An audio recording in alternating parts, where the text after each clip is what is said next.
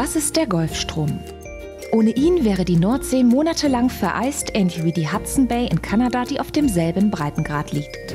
Er ist die Zentralheizung Europas und liefert uns etwa so viel Energie wie eine Million Kraftwerke. Der Golfstrom ist Teil eines großen Förderbandes im Atlantik, das von der Südküste Afrikas über den Golf von Mexiko bis zum Nordatlantik reicht. Als eigentlicher Golfstrom wird dabei eine oberflächennahe Meeresströmung bezeichnet, die zunächst entlang der US-Ostküste und dann von Westwinden angetrieben Richtung Atlantik fließt. Vor Europa verzweigt sich der Strom unter anderem in den Nordatlantikstrom, der warmes Wasser bis nach Norwegen führt.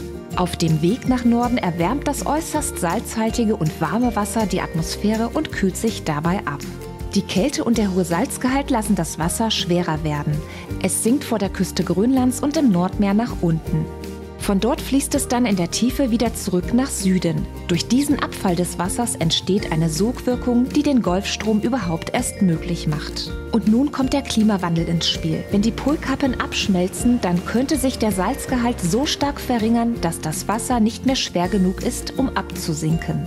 Im schlimmsten Fall kommt der Golfstrom sogar komplett zum Erliegen. Ob sich die Meeresströmung bereits in den vergangenen Jahrzehnten abseits der normalen Schwankungen verändert hat, lässt sich bei derzeitiger Datenlage nicht eindeutig feststellen. Viele Klimaszenarien weisen aber darauf hin, dass sich die Zirkulation mit dem Klimawandel im Mittel abschwächt. Dies hätte nicht nur Folgen für das Klima, sondern auch für das gesamte marine Ökosystem. Neben der Wärme transportiert der Golfstrom zum Beispiel auch Meerestiere.